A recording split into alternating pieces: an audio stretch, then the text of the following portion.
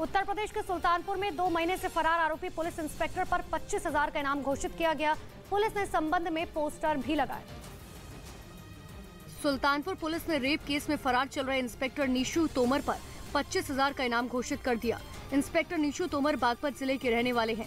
लिहाजा पुलिस ने सुल्तानपुर के अलावा बागपत में भी पोस्टर चिपकाए। इसमें वांछित अभियुक्त था जिसके वर्तमान में फरार चल रहा है, जिसके संबंध में पुलिस अधीक्षक सुल्तानपुर महोदय द्वारा पच्चीस हज़ार का इनाम घोषित किया गया है।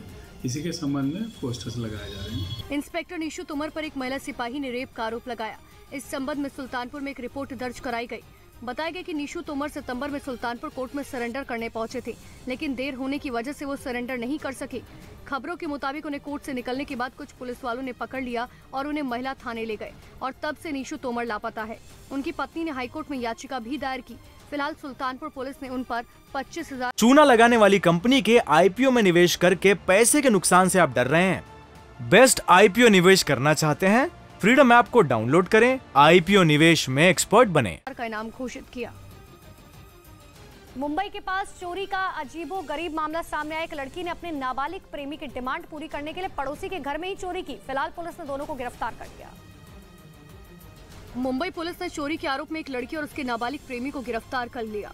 उनके पास से करीब एक लाख रुपए की मोटरसाइकिल, लगभग साढ़े चार लाख रुपए फर्नीचर बरामद किए गए।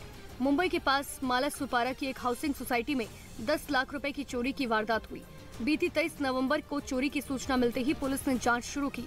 पीड़ित महिला की जानने वाली महिलाओं पर नज़र रखी गई। इस दौरान पुलिस को 21 साल की एक लड़की पर शक हुआ। जाँच में पता चला कि उसने कुछ समय पहले ही महँगे फर्नीचर और बाइक खरीदी थी।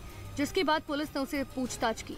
बताया गया कि आरोपी लड़की ने अपना जुर्म कबूल कर लिया। दोनों ने मिलकर एक आईफोन खरीदा था एक केटीएम मोटरसाइकिल खरीदी है फर्नीचर खरीदा है फ्रिज खरीदा है ऐसे जो कॉस्टली चीज़ है वो खरीदी थी और उसके बावजूद उनके पास चार लाख तीस हज़ार नगद अमाउंट रकम मिल गई है।